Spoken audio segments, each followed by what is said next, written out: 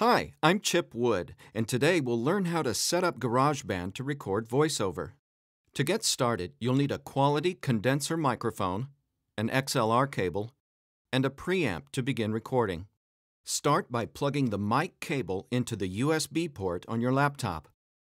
So let's open the Finder. We'll scroll to Applications.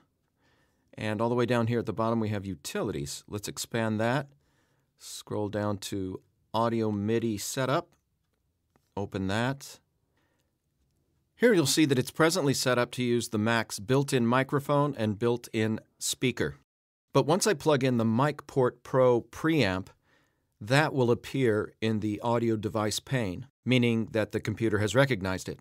Go to your preferences, and we'll set a few of these. In the general pane, cycle off and on should both be set to merge. And in the audio MIDI tab, this is what it would normally look like before the microphone was connected.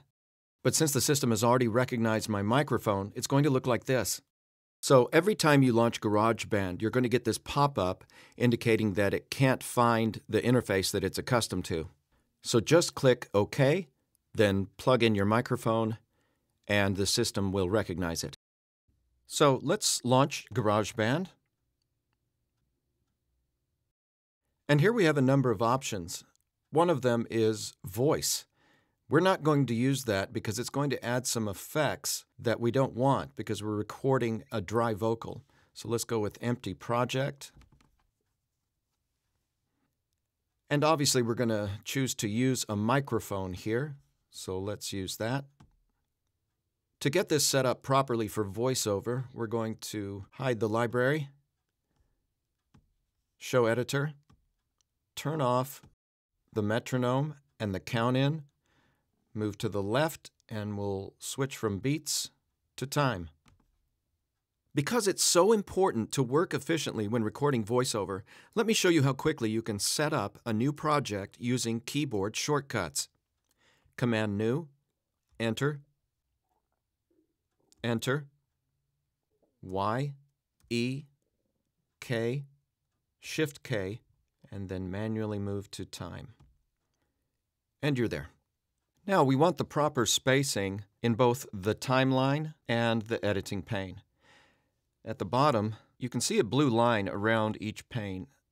The editing pane here is selected. If I click here, you'll see the blue line switch to the timeline. So let's go down to the editing pane. We're going to stretch this time out a bit. Command arrow right, and you'll see the seconds get longer. And we want to extend one second to right about there. Now, in the timeline, it's a condensed version. So in the span of one second, we have almost three to view in the timeline. And of course, you can see that the playhead moves much more quickly in the editing pane. Now, I have a number of projects to do today, and I have one track selected here. This plus sign right here will prompt you to select what type of track you would like and I'm going to cancel because there's a shortcut for that. Just select the first track and then Command D. Another great advantage of this is if you're recording a vocabulary list or several IVR messages, your tracks are already numbered. And here, I would just have to put the name of the client. Let's say David. Enter. And the rest of the tracks are already numbered for me.